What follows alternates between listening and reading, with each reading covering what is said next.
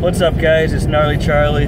Um, here to kind of have a little bit of a drive time commute from work. And I kind of had a little question I thought I might ask other YouTubers to try and, I don't know, I guess to kind of boost their uh, subscribers a little bit, try and get a little thing going where uh, we might try and challenge each other on different, you know, things, kind of like the ice bucket challenge, but you know, there's no repercussions if you don't. You know, it's so if you feel like doing it, go for it. If you feel like challenging somebody, go for it.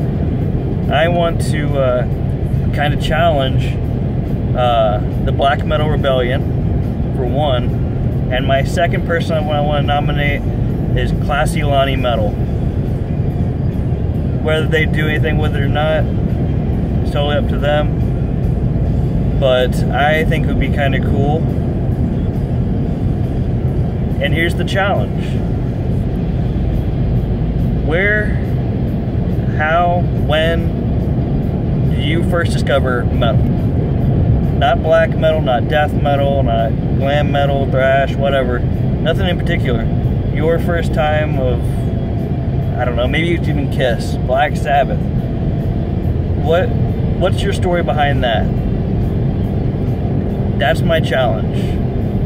For me, my first experience with metal outside of my uncle's truck, he, uh, my, my uncle used to uh, drive around a lot. He was a uh, county coroner, and uh, you know, on his downtime, we'd drive around. He babysat a lot for me when I was younger, but um, I remember hearing a lot of classic rock radio and at 100.7, what they're really known for is having a lot of Kiss, Black Sabbath, and kind of the early 70s, 80s heavy metal. And that was kind of my first initial, I guess you could say, experience into metal. At the time, I thought it was just rock, and I didn't really think too much of it. When I really first, really dove headfirst into metal, and I'm like, this is metal. This is, you know, this is what I gonna listen. This is what I love. This is the thing for me. This is my passion. Was um, the summer between my eighth grade year and my freshman year of high school. I discovered on some TV station. Uh, it's called Fuse. Back when Fuse had music and it wasn't a bunch of reality shows that I realize now. I've, I've, I've noticed a lot of reality shows like uh, Warped, Warped Tour, band roadies and stuff. Stuff that's not really music anymore. It's got music related stuff in it, but not a whole lot of you know bands playing their their songs, which is what I know Fuse for. Um,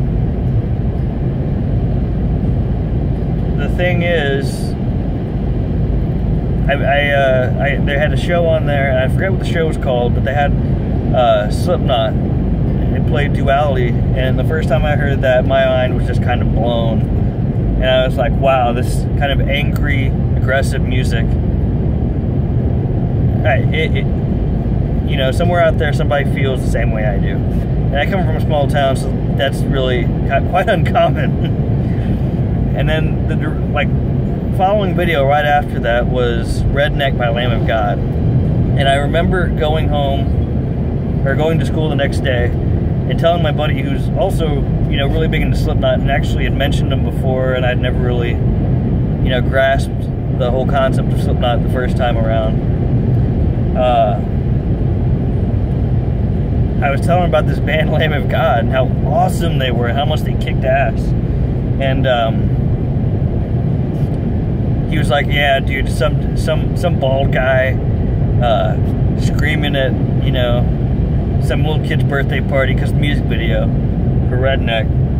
Uh, and he's in a band called Lamb of God. It's probably some Christian thing. He kind of blew it off.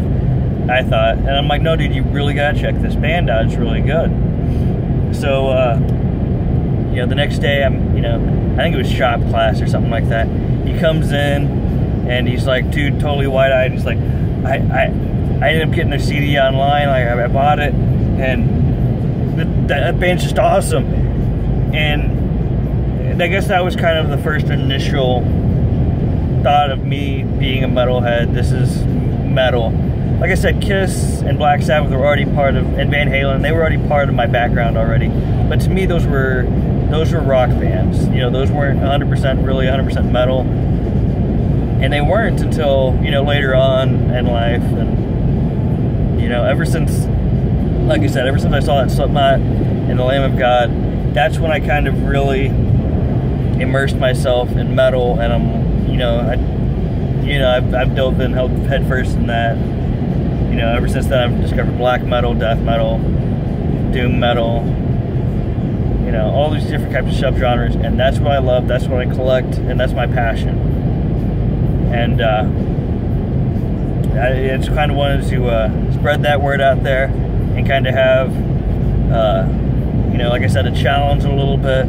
Try and get other little small YouTubers since, uh, you know, YouTube's kind of going a little downhill with uh, pushing it out there. So, you know, try and get as many smaller YouTubers as we can to try and, you know, I guess try and do this challenge but um, more or less just try and get their their viewers to see other YouTubers and subscribe to them possibly, and maybe get a bigger metal following. You know, with our already little metal followings between each YouTuber. So, you know, like I said, feel free to uh, do the challenge yourself and post a video of it, or don't. It's totally up to you. But this is my metal stories, and this is Gnarly Charlie. Hit subscribe if you dig it.